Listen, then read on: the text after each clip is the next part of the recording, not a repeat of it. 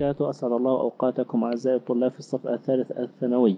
آه، ما زلنا في الوحدة ال- الثانية بعنوان الاتجاه الإنساني في الأدب العربي وتناولنا نصان. النص الأول يتحدث عن آه، الدعوة إلى التفاؤل ونبذ التشاؤم والدعوة أيضا لفهم الحياة من آه، غير بني الآدم آه، كما رأيتم من طيور روابي ومن آه، الهزار ومن الجداول والأنهار. آه، وبعدها ذهبنا إلى نص يتحدث آه، فيه شاعرنا كان عن نصرة الإنسان لأخيه الإنسان في كل بقاع الدنيا.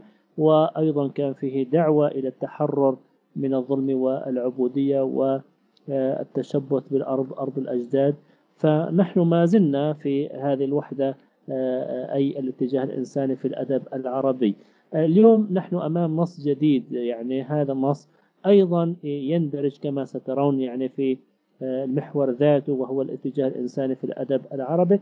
آه، ورأيتم في اللقاء السابق يعني النص هو الشاعر محمد الفيتوري وهو ابن القارة الأفريقية السمراء فلم يتحدث عن قارته آه، السمراء وإنما تحدث عن آه، عموم الظلم والمعاناة واليوم لدي نص أيضا لشاعر فلسطيني ما تحدث عن القضية الفلسطينية وإنما تحدث بالعموم وتطرق إلى أمريكا وإلى أفريقيا وما فيهما من آه، من ظلم وتمزق وضياع وعبودية. آه، فنقول وكما تعلمون يعني بعد نكبة عام 48 و900 وألف آه، شرد الشعب الفلسطيني فقسم صار لاجئا في الأقطار الع- العربية وقسم ظل متشبثا بأرضه. وهؤلاء يعني نطلق عليهم عرب ال 48 يعني هؤلاء الذين بقوا آه، متشبثين بأرضهم دافعوا عنها آه، هذا الواقع المأساوي آه، طبعا دفع الكثير من الأدباء وعبروا عن شعورهم بالمرارة والحنين الأرض. وآخرين ما زالوا ملتزمين كل الالتزام ومقاومين واتخذوا من أدبهم آه، بعدا وطنيا آه، تمثل في الدفاع عن أيضا الأرض والتمسك بها آه، أمام المخططات الاستعمارية. ففي هذه الأوقات كان شاعر أيضا جديد سنتعرف عليه الآن مع نصه.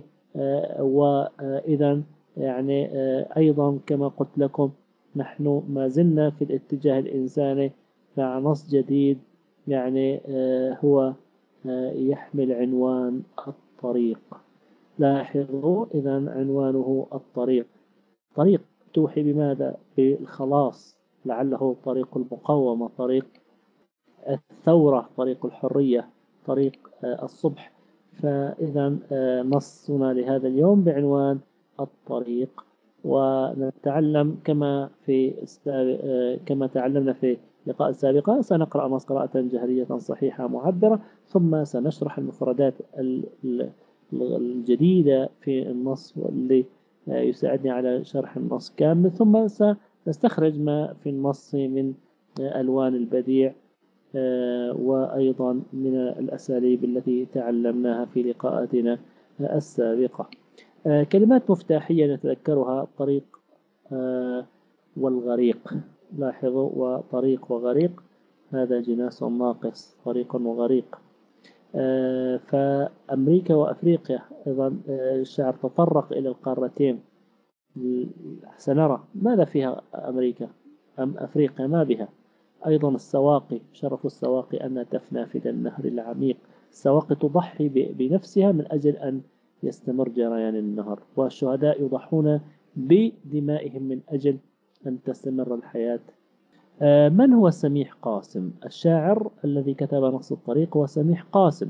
من هو سميح قاسم؟ سميح قاسم هو أحد أهم وأشهر الشعراء العرب والفلسطينيين المعاصرين الذين ارتبط اسمهم باسم آه، الثورة والمقاومة من داخل أراضي عام 48 آه، كتب سميح قاسم أيضا عددا من الروايات ومن بينها اهتماماته إنشاء مسرح فلسطيني يحمل رسالة فنية وثقافية عالمية كما يحمل في الوقت نفسه رسالة سياسية قادرة على التأثير في الرأي العام العالمي فيما يتعلق بالقضية الفلسطينية. صدر للكاتب والشاعر سميح قاسم ما يزيد عن ستين كتاب في الشعر والقصة والمسرح والمقالة والترجمة وصدرت أعماله الناجزة في سبع مجلدات عن دور نشر عدة في القدس وبيروت والقاهرة ومعظم هذه الأعمال ترجم إلى لغات عدة منها الإنجليزية والفرنسية والتركية والروسية والألمانية واليابانية وغيرها من اللغات بما فيها العبرية أيضا.